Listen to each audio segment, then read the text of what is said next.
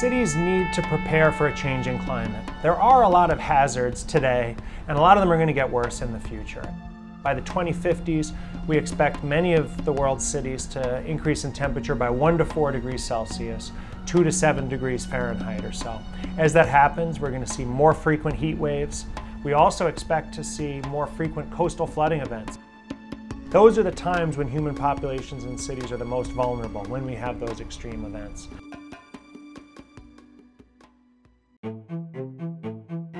The Urban Climate Change Research Network, UCCRN, is a group of researchers from cities all over the world who study climate change.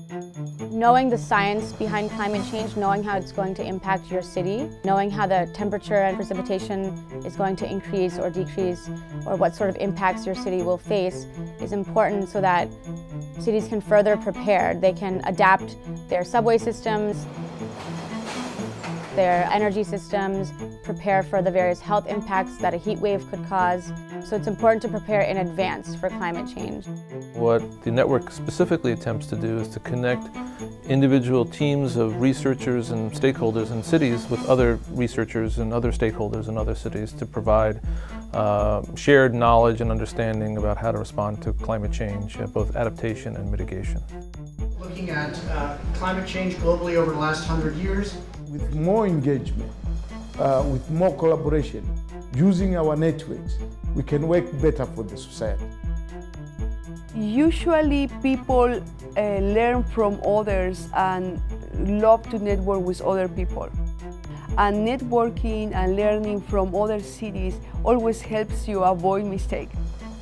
It helped us to connect with the many researchers, colleagues working in the field and in a sense build some kind of coherent intellectual force to really have a handle on the subject.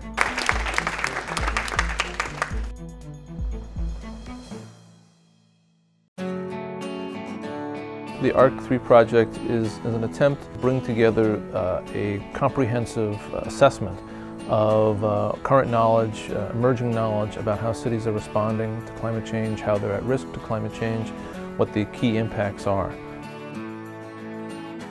Just like you have the IPCC at the country level, ARC3 is three C's, climate change for cities. The first one was published in 2011, but now a new group of about 100 authors from cities worldwide are writing chapters. They're busy writing their chapters right now on everything from urban heat island to environmental justice, to urban energy and water systems, and to urban government, how city leaders and cities can be organized to best deal with climate change challenges. The most interesting stuff is at the case study level. Uh, there's certainly a lot of broad assessments that are ongoing, but what UCCRN attempts to do and why it's really unique and through the ARC3 process is to connect those case studies and to link that really rich knowledge happening at the local level and make that available across a wide set of cities. And I think that's the signature you know, contribution that this process is making. Those case studies can be replicated in our areas.